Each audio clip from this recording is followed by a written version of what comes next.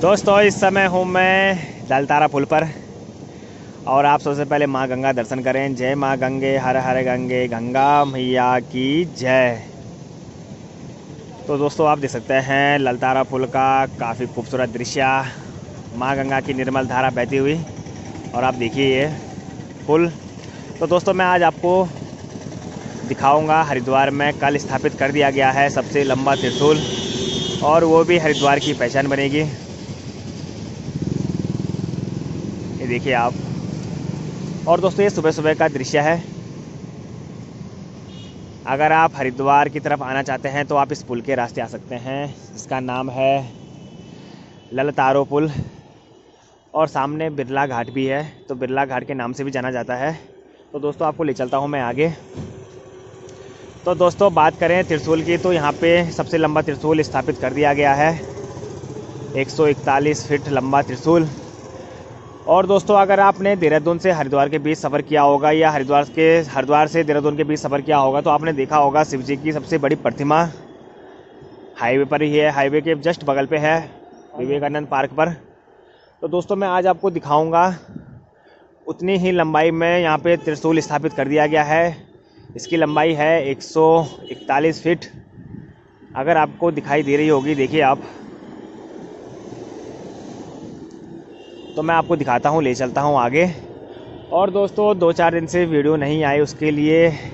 Sorry क्योंकि मुझे काम पड़ गया था, जिस कारण मैं वीडियो नहीं बना पाया।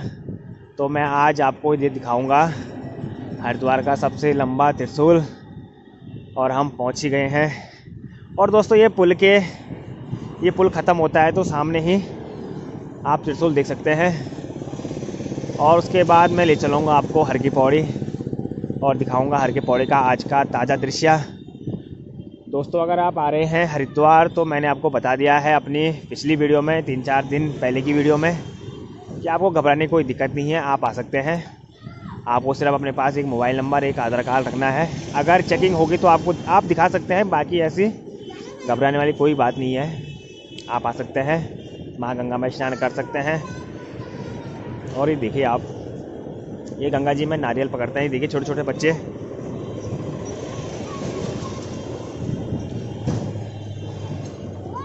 और हम पहुँच चुके हैं। ये देखिए आप दोस्तों आप। कितना लंबा त्रिशूल है। और मैं आपको दिखाता हूँ। ये देखिए। ये पुल है। और पुल समाप्त होता है यहाँ पे, और यहाँ पे देख सकते हैं आप। और मैं आपको दिखाता हूँ। ये देखिए आप।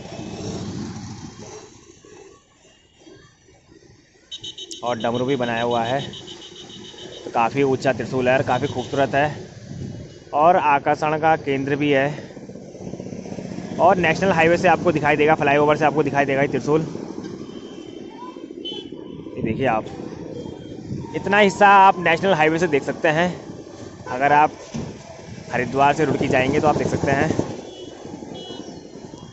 तो दोस्तों, ले चलता हूँ मैं आपको अब हर की पौड़ी पर।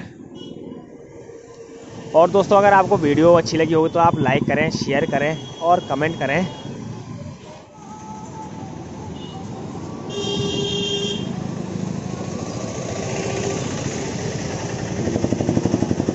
मैं पहुँच चुका हूँ सुभाष घाट पर। और सुभाष घाट का आप दृश्य देख सकते हैं। काफ़ी सारे तीर्थयात्री और श्रद्धालु पहुँचे हुए हैं।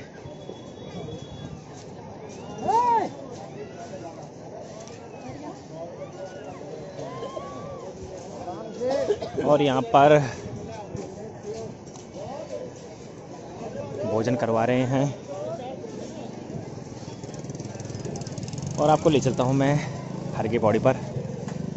और देखते हैं आज हर के पौड़ी पर कितने श्रद्धालु पहुँचे हुए हैं।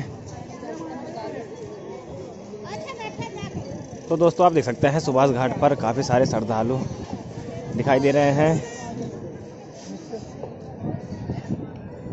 और आपको ले चलता हूँ मैं हर के पौड़ी पर।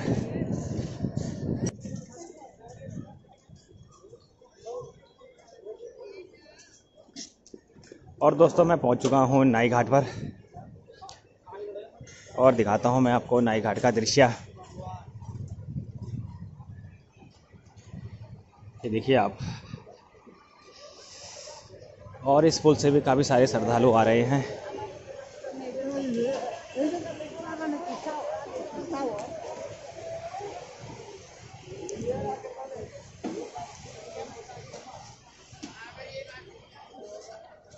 तो दोस्तों, मैं पहुँच चुका हूँ नाई घाट पर।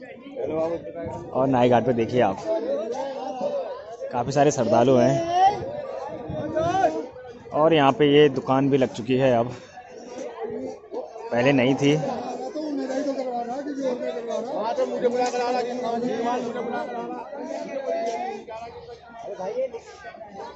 ये देखिए आप।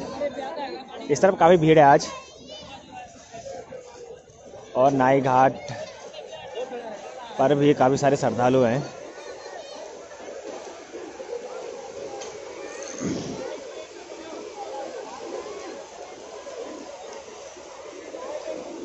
और आपको ले चलता हूँ आगे। ये देख सकते हैं आप। माँ गंगा की निर्मल धारा बहते हुए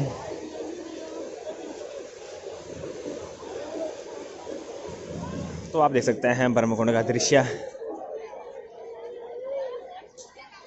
देखिए आप जल भर चुका है। आप देख सकते हैं मंदिर पर। ये देखिए आप।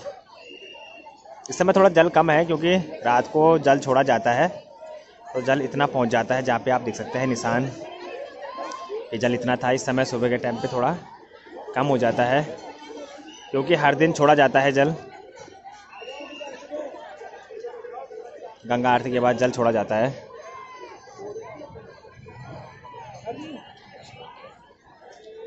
और देखिए, आप ब्रह्मकुंड की तरफ़ काफ़ी सारे श्रद्धालु हैं। और आपको ले चलता हूँ मैं आगे, महिला घाट पर।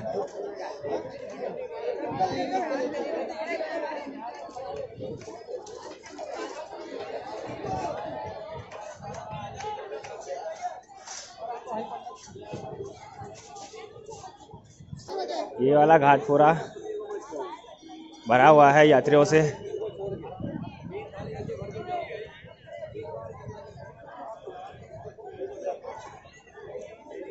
और दोस्तों, मैं पहुँच चुका हूँ महिला घाट पर और महिला घाट का आपको दृश्य दिखाता हूँ मैं। तो इस घाट पर भी काफ़ी सारे श्रद्धालु हैं। और इस तरफ़ बात करें तो ये देखिए आप। महिला घाट पर भी हैं आज।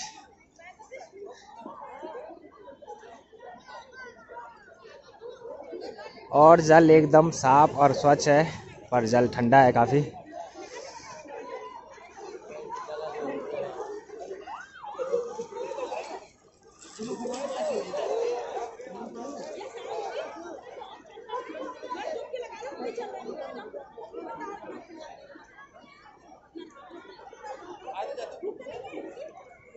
तो दोस्तों यह है आज का ताज़ा दृश्य हर के पौड़ी हरिद्वार का।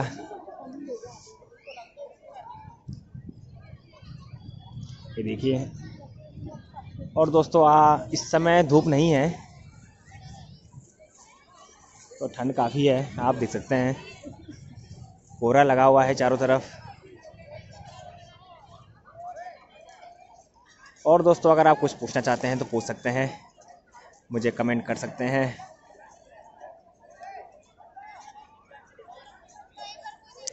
तो दोस्तों, मिलते हैं अगली वीडियो में। तब तक के लिए जय माँ गंगे, हर हर गंगे। गंगा मैया की जय।